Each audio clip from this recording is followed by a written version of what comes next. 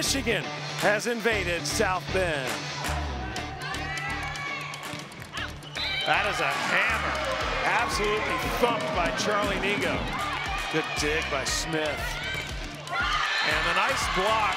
Notre Dame still has plenty of time to get back in this set. And there's evidence of that. Successful. Taken over by Nunez.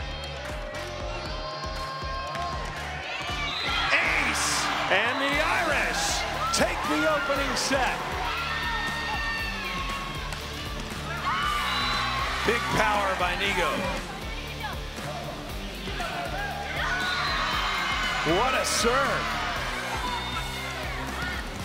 Bear denies Crocker.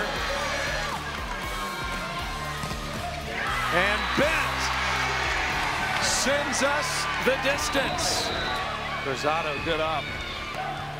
Niego down the line. And the quick set to the middle. Bear terminates and blocked again. Bent swats it straight down. We're going to 15 win by two. And Notre Dame getting closer and closer.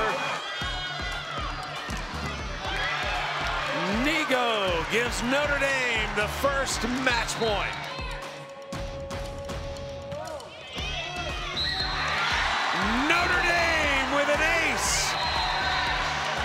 And another win over a Big Ten program.